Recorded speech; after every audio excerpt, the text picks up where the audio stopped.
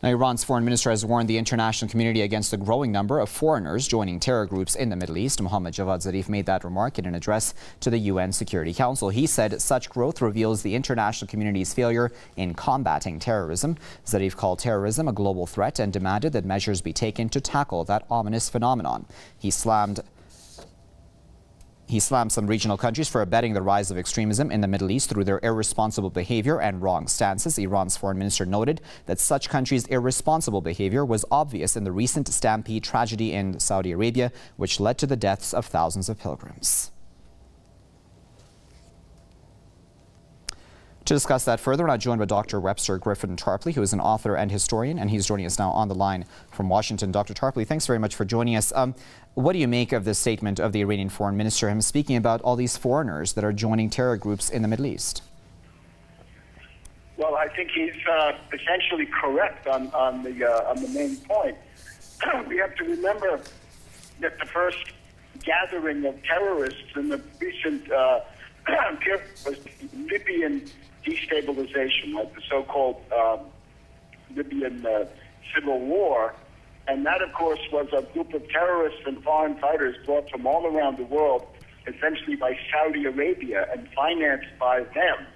Uh, this group, after the death of Colonel Gaddafi and after the, the ending of the main hostilities in Libya, this group was then transshipped uh, through Turkey into northern Syria. And I'm afraid this is what uh, most research would conclude the, uh, the U.S. Uh, Ambassador Stevens had been doing uh, when he was uh, then unfortunately slain himself.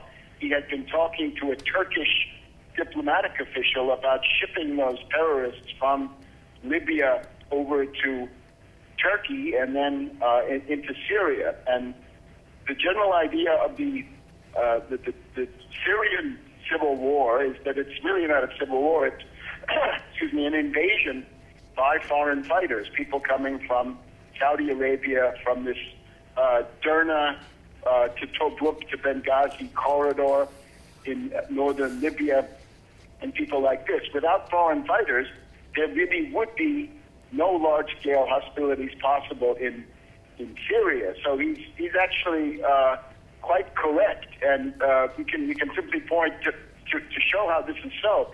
If the Turkish government would simply close the Turkish-Syrian border, or if the Kurdish forces were allowed to close that remaining 65 to 70 mile gap east, uh, I'm sorry, west of the Euphrates River, uh, then uh, the uh, the entire uh, ISIS operation would tend to collapse because without those recruits coming across the border, ISIS could no longer subsist. So I think it's important to stress how artificial these terrorist groups are, how dependent they are on foreign fighters, and the colossal bad faith of the NATO governments, the United States, Britain, France, and the rest of them, who uh, pretend to be shocked and horrified, but actually have aided and abetted these terrorists going into Syria.